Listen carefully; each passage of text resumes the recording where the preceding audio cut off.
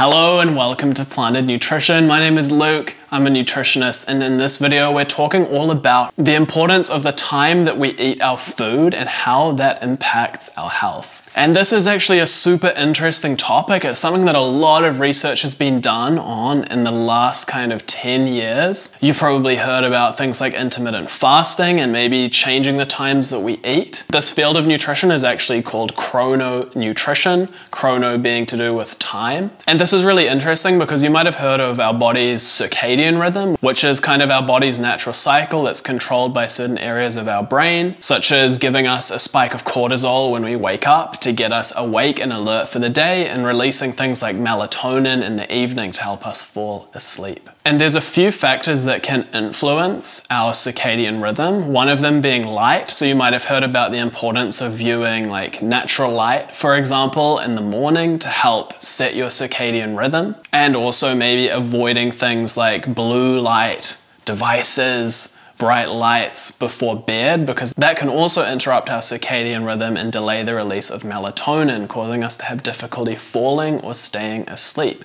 But another factor that's really important with our circadian rhythm is the time that we eat our food. Yes, nutrition and the time of eating can have an important impact on our circadian rhythm, and this has a big effect on our health. And research looking into this at people that were eating late in the night, for example, and had a disrupted circadian rhythm because of it, found that late night eating was associated with excess weight gain and poorer metabolic health. And the idea of this is simple. If we can sync our meal timing with our body's natural rhythm, we can optimize our digestion, nutrient absorption, metabolism, and overall health. So let's talk about some of the benefits of chrononutrition from this recent research. So number one is improved cardiovascular health. So eating in time with our circadian rhythm can help improve our cardiovascular health by helping us to avoid excess weight gain, helping to lower blood pressure and cholesterol, or more importantly, ApoB levels. Studies indicate that circadian rhythm eating and avoiding late night meals can reduce our risk of cardiovascular disease. Number two is weight management. So we've touched on this a little bit, but if you're looking to reach an optimal weight, research has shown that timing our meals correctly, particularly shifting our calorie consumption towards earlier in the day, can aid in weight loss and also maintenance of a healthy weight. And there was an interesting study that looked at people using an app to help them sync their meal timings with their circadian rhythm. And they found these participants experienced better weight loss. And a reason for this may be because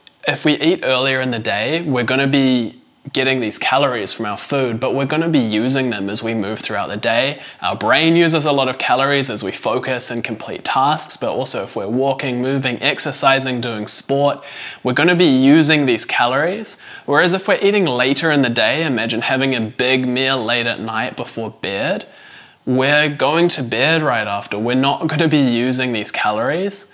And so there's more chance of them being stored as body fat, for example. And there may be other reasons why this is important as well, like disruption of sleep, creating more stress. So it's definitely a complicated topic. There's a lot of ongoing research that's going to help us deeper understand the effects that this has on our body. And diabetes management and metabolic health and consuming meals earlier in the day can help us to have better blood sugar control because our body is more primed and ready to deal with our food. And especially if we're having like healthy balanced meals, so we're not having like a big spike of blood sugar from a highly processed breakfast, if we're having a balanced meal, it's also going to help provide us longer lasting sustained energy throughout the day. If you want to learn more about creating balanced meals and improving your energy with nutrition, check out this video where I teach you all about how to do that. And so now let's touch on what should a day of chrononutrition or eating in alignment with our circadian rhythm look like. So it's basically eating in alignment with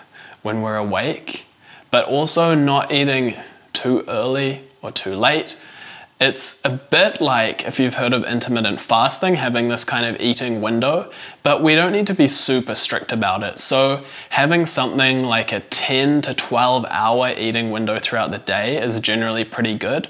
So, that could be getting up, having breakfast at 8 a.m., and having our lunch at our normal time, and just having dinner before 8 p.m. So that's our 12 hour window. And making sure we're not eating later after 8 p.m., having snacks or anything like that. So, again, having a balanced meal that's got a good amount of protein, healthy fats, complex carbohydrates that's going to give us energy, that we don't feel cravings and feeling like we're needing to snack or anything like that. And if you want to go for like a 10 hour window, that could be delaying breakfast a little bit later, maybe eating at 10 a.m. to start, finishing at 8 p.m.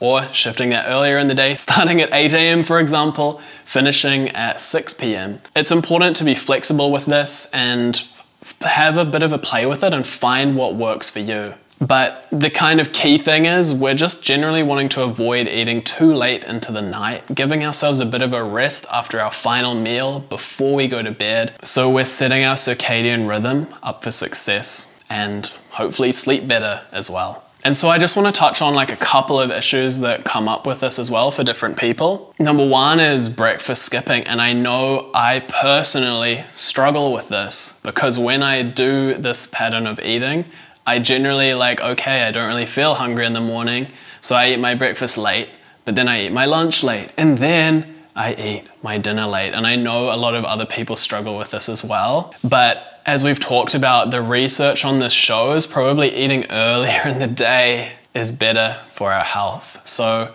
we really want to try and start our eating window earlier.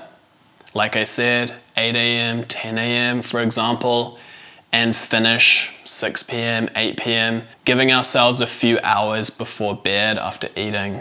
And another one is obviously this can be difficult if you're doing shift work or rolling shift work, especially. You can still work within your constraints to create the best routine that you can. Obviously, it's not going to be ideal. Shift work isn't ideal for our circadian rhythms, but there may be times in life where we have to do that. So just don't beat yourself up about it. Just try and find as much rhythm and routine as you can. But also, don't stress about trying to stick to some regimen like this if that just doesn't work for you in your life right now. And there's also individual differences. These are called chronotypes. And the research has shown that there might be people, and they even call them like night owls or early birds. So you might be a night owl. You might prefer sleeping later, waking up later, eating later.